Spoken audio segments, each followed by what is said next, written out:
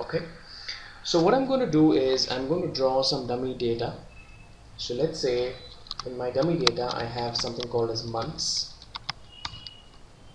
So from January from sorry, from Jan from January till December. And I'm just going to drag it down. And the next thing that I have is let's say average stock price so for generating random stock price numbers I'm going to use a formula called rand between. Okay.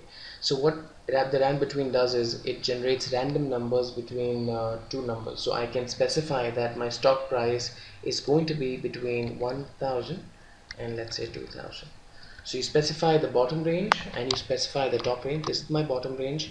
And then you specify the top range and that's it and I can just simply drag this formula down till the month of December.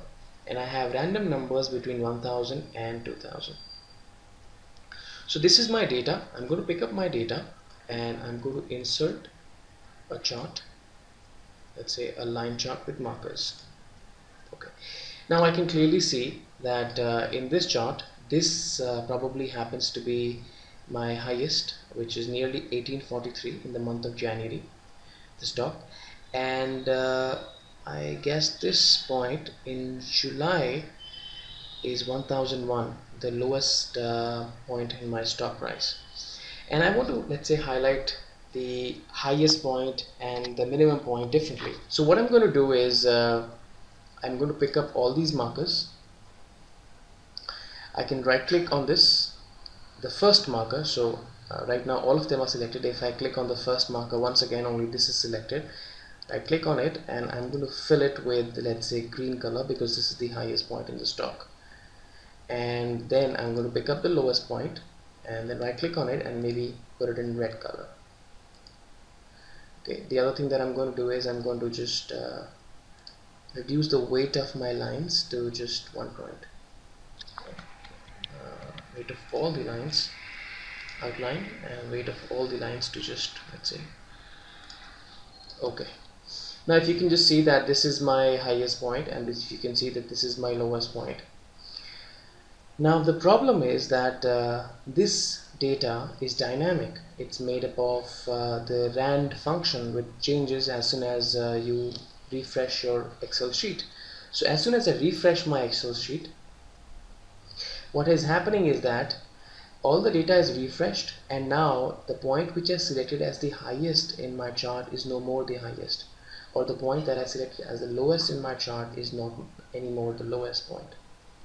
So I have to do something in Excel that tricks the Excel to understand that okay uh, you know this is some sort of a trick and uh, I have to kind of only pick up the highest and the lowest points.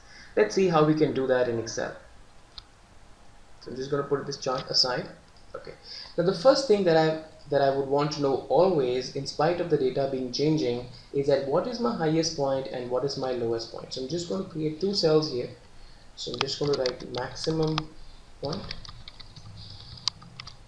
and minimum point. And uh, I'm just going to use the maximum formula equals to max and select this range and find out the maximum value this is going to give me the maximum value and then I'm going to similarly figure out that what is the minimum value in my data. Okay so this is my maximum value and this is my minimum value.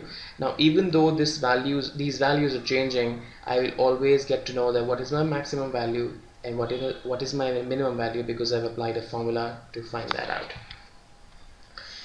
Now uh, I have to do I have to kind of plot this 1956 in the chart in against the right month. So I guess this is the point where in May where the highest value is this. And I want to you know make this as green or something other something more highlighting than the usual ones. So I'm going to write uh, I'm going to create a dummy series here. So I write a dummy dummy for max. Okay. Now I'm going to write a formula called an if formula. So in the if formula, which is made up of three parts, the first part is that what is your logical test? What is the condition that you're trying to test? the second part is what if that condition stands true? What action do you want to take? And the third part in the formula is that what if the condition is false? What action do you want to take? So what I'm going to do is I'm going to check this. If this number is equal to the maximum or not. So is C6 equals to C18 or not? Right now it's not so it's going to give me a false. So if it is equal I want to have this number. Otherwise I want to have a 0 okay? And when I drag this formula down I want these cells to move down but I don't want the maximum point to move down so I'm just going to lock this with the F4 key. And that's it so since this is not the maximum point it gives me a 0 so if this value if this condition is not true it's going to give you a 0 if this condition is true it's going to give you the same number. And I'm going to generate these series and drag it this down till the end. So this is the maximum point. It will always give me a maximum point here. So I'm going to refresh this data. And right now this is the maximum. It's going to give me the maximum. Similarly I draw a dummy for a minimum series so I'm just going to write the same formula if condition now I'm going to I'm just going to check uh, the same number with not the maximum but the minimum point so if this number is equal to the minimum point, because these are the two points that I want to bring out separately in my data, so I'm uh, performing a if condition on max and an if condition on min. So uh, if this number is equal to the minimum, then you give me this number, else you give me a zero. And just as uh, the, the way that we did it in the earlier if formula, I'm going to lock this number because I don't want this cell to travel down. So I'm just going to lock it and I will copy my formula down. Now I have a maximum dummy and I have a minimum dummy. So these dummies are only picking up uh, the maximum and these dum this dummy is only picking up uh, the minimum value.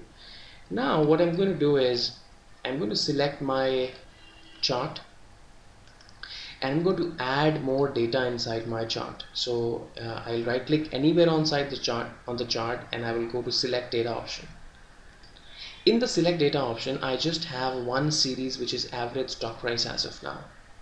I'm going to insert a dummy for max. So I'm going to say add and series name is nothing and I will say that series values is this value till here. Say okay and I'm going to add another series for minimum. Series name is nothing and series values is this.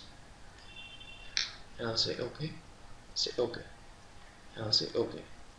Now if you just take a look that uh, uh, you know the maximum and the minimum are being highlighted all that we don't want these lines to come in here. So I'm just going to pick up this line this data series and right click on it and I'll say that I don't want to have the outline. I'm going to pick up this data series again for the minimum and right click on it and say that I don't want to have the outline. Okay. Now uh, the the earlier ones that we did it manually this was the one that we did it manually and this was the one that we did it manually. I'm going to uh, bring it back to their default color.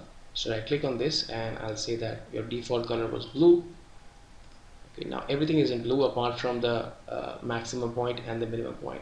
Now let's say when I refresh this data press F9 you see that this is actually uh, you know the highest point in my data series and this is actually the lowest point in my data series. It's automatically being picked up. So what you have done is you have created two dummy series and put it inside your chart.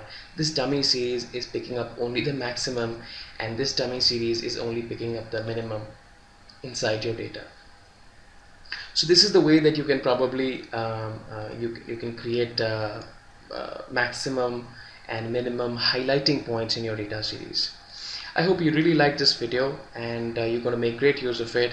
Uh, thanks for watching and do take care of yourselves.